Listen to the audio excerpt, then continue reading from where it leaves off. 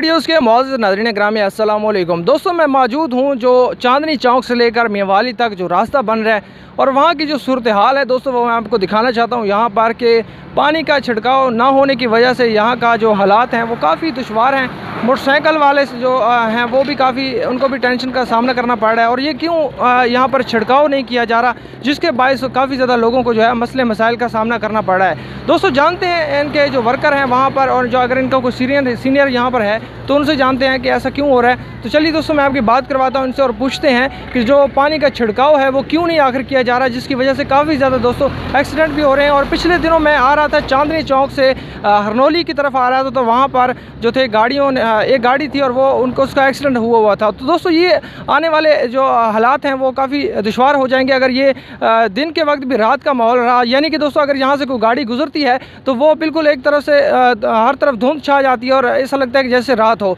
दोस्तों जानते हैं इनके वर्कर से भाई एक मिनट इधर आइएगा आपसे कोई बात सही पूछनी है।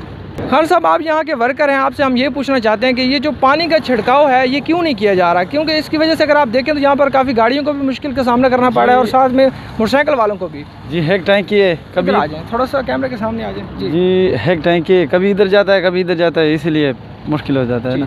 अच्छा ये भाई का कहना है कि भाई यहाँ पर एक टैंकी मौजूद है जिसकी वजह से अगर आप एरिया देखें तो एरिया कम अज़ कम यहाँ से चालीस पचास किलोमीटर से भी ज़्यादा बनता है जो कि चांदनी चौक से लेकर मियावाली के एक चार डी इलाका है वहाँ तक जो ये एरिया बनता है। लेकिन ये भाई का कहना है कि हमारे पास सिर्फ़ एक टैंकी है दोस्तों आखिर ये क्या वजह है कि बजट बजट की कमी है या फिर करप्शन की यहाँ पर ज़्यादती हो रही है? आपने इस मुद्दे को जो है दोस्तों शेयर करना है ताकि लोगों को जो दुशारी का सामना कर, करना पड़ा ये ना हो। दोस्तों, अगर आप यहाँ पर देखें तो ख़ास तौर पर मोटरसाइकिल वालों को काफ़ी ज़्यादा यहाँ पर दुशारी का सामना करना पड़ता है। और ये जो जगह मैं आपको अभी दिखा रहा हूँ, ये एक नॉर्मल सी जगह है। अगर मैं यहाँ पर आपको मज़ीद ऐसी ऐसी जगह भी दिखा सकता हूँ जहाँ पर बिल्कुल रात का माहौल है। अगर मोटरसाइकिल यहाँ से गुजर है तो बड़ी गाड़ी से वो जो है क्रॉसिंग नहीं कर सकता, क्योंकि बड़ी गाड़ी के साथ आप ये हालात देख सकते हैं। अभी ये मेरे साथ सामने गाड़ी गुजर रही है।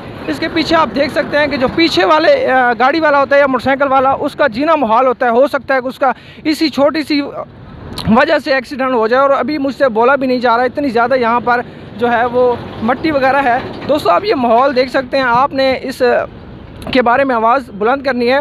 आपने अंदाज़ा लगाएँ कि एक टैंक टैंकी है जिससे ये सिर्फ़ काम लिया जा रहा है। और एक टैंकी क्यों है? ये बजट की कमी है या करप्शन है? क्या चीज़ है? आपने दोस्तों ये जो है, इसको आगे शेयर करना है और ये मालूम आपने लेनी है। मेरा काम था आपको सिर्फ़ और सिर्फ़ इस चीज़ से आगाह करना कि काफ़ी ज़्यादा लोगों को दुशारी का सामना करना पड़ रहा है। तो उम्मीद करता हूँ आपको ये वीडियो पसंद आएगी। अगर ये वीडियो पसंद आए तो वीडियो को लाइक कीजिएगा। मजीद ऐसी वीडियोज़ के लिए चैनल को सब्सक्राइब कीजिएगा। इंशाल्लाह मैं मिलता हूँ नेक्स्ट वीडियो में। अपना ख्याल रखिएगा। अल्लाह के बाद